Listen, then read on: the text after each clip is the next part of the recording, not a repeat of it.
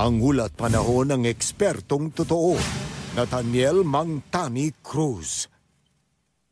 O mga kapuso, isinailalim na po ah, sa bah- ang ilang bahagi ng bansa ang isinailalim sa tropical cyclone wind signal at yan ay dahil sa papalapit ng bagyong Dante. Nakataas ngayon ang tropical cyclone wind signal number 2 dyan sa may Masbate kasama ang mga isla ng Ticao at Murias, Albay, Sorsogon, Eastern Samar, Samar, Northern Samar, Biliran, Leyte, Southern Leyte, Dinagat at mga isla ng Siargao at Bukas Grande. Magiging ayam ready po sa masungit na panahon ng mga nasabing lugar ngayong araw na ito.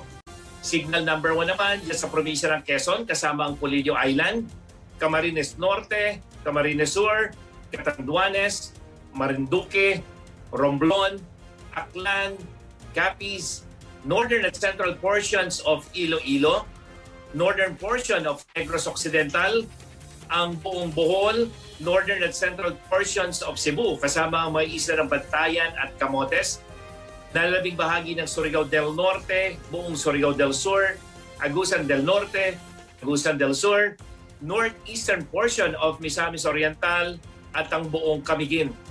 Akahan ng mga malalakas na ulan na may pagbugso ng hangin sa mga binanggit nating lugar sa mga susunod na oras. Namata ng pag-asa, kaninang tanghali ang sentro ng bagyo sa layong 235 kilometers dyan sa may silangan o east ng Maasin City, Southern Leyte. Taglay pa rin ito ang lakas ng hangin 75 kilometers per hour malapit sa gitna at ang bugso umaabot pa rin ng 90 kilometers per hour. Kumikilos ito westward o pakanluran sa bilis naman at 25 kilometers per hour. At sa latest wind map ng Metro Weather, ay makikita nyo mga puso, posibleng mag-landfall po ang bagyong Dante dyan sa may Eastern Samar o kaya naman sa may Leyte, mamayang hapon o kaya naman ay mamayang gabi. Tatawid ng uh, Samar or Leyte provinces, tatawid din ng Bicol region bago kumilos papunta naman ng uh, kung hindi uh, dyan sa may Cagayan Valley, eh, posibleng tumawid yan o dumaan dyan sa may uh, Aurora. Kaya dapat po ha, maging IM ready. Hindi lamang yung mga binanggit nating lugar, kundi yung buong Eastern Visayas, Bicol Region, hanggang dyan sa may Calabarzon at Cagayan Valley. Dahil pa rin sa bagyo, magiging maalon at delikado sa mga maliliit na sakyang pandagat ang pumalaot dyan sa mga baybay na sakupok ng mga lugar na may wind signal. Base naman sa rainfall forecast ng Metro Weather, eh, magiging maulan sa buong Mindanao, posibleng heavy to intense rains, kaya maging IM ready sa banta ng baha at landslide. Magkakaroon din ng mga pagulan ng buong Visayas, lalo na po yung uh, eastern section at yan ay dahil sa epekto ng bagyo. Posible naman ang mga thunderstorm sa Luzon, posible ang malalakas na buhos ng ulan dyan sa central at southern Luzon, at mga taga Bicol region ha, maging IM report dahil magiging masungit na ang lagi ng panahon dyan sa inyong lugar simula mamayang gabi.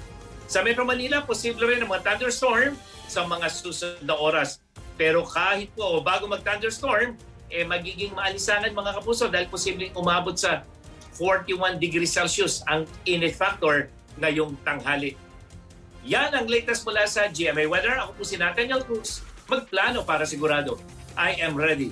Serbisyong totoo ng GMA News.